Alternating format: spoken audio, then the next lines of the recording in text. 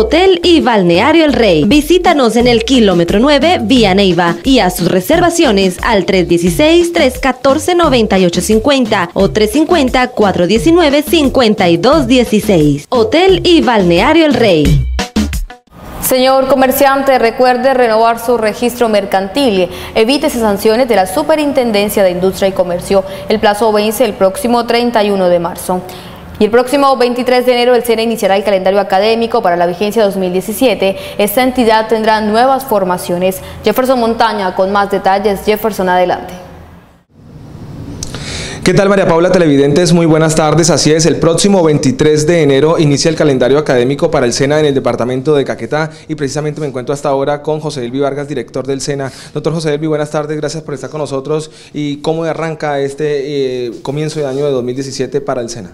Bueno, muy buenas tardes. Efectivamente estamos ya haciendo todo el alistamiento para que el próximo 23 de enero demos por iniciado el calendario académico del año 2017. Estamos en este momento haciendo toda la vinculación de los instructores contratistas que venían desde la vigencia de eh, años anteriores, estamos volviéndolos a enganchar laboralmente para que nos acompañen los equipos ejecutores de formación que van a estar en esta vigencia 2007, 2017 al igual que ya tenemos todo dispuesto para que iniciemos el próximo 23 con las formaciones que pasaron del año 2016 y las que inician en este año 2017.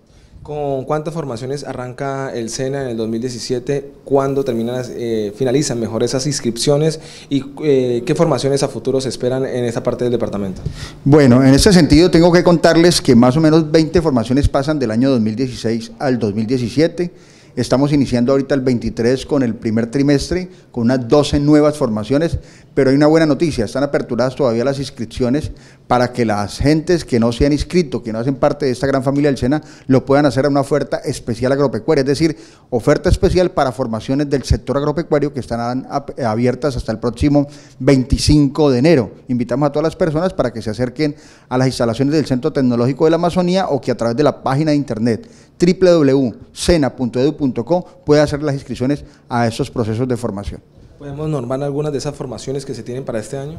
Por supuesto que sí, las que estamos en este momento ofertando para el sector agropecuario tienen que ver con el tema de tecnólogo en acuicultura, técnico en producción pecuarios, técnico en procesamiento de lácteos para el tema de Florencia y algunas en otros municipios de la zona norte del departamento de Caquetá. Y en el mes de febrero estaremos anunciando las que ya vienen para el segundo trimestre y así sucesivamente cada tres meses estaremos ofertando nuevas formaciones para todos los caqueteños. Muy bien, pues a José Elvi Vargas, director del SENA en el departamento de Caquetá, pues muchas gracias. Él ha anunciado que el próximo 23 de enero se inicia el calendario académico en el SENA en esta parte del país. Información que registramos a esta hora desde el centro de la ciudad. Sigue usted, María Paula, con el desarrollo desarrollo de otras noticias y muy buenas tardes.